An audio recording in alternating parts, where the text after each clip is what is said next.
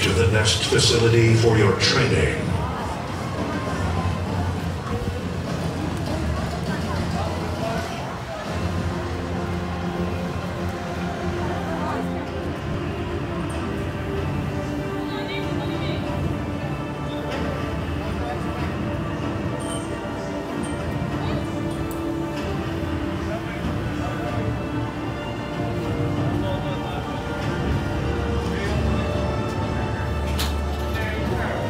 Welcome, recruits.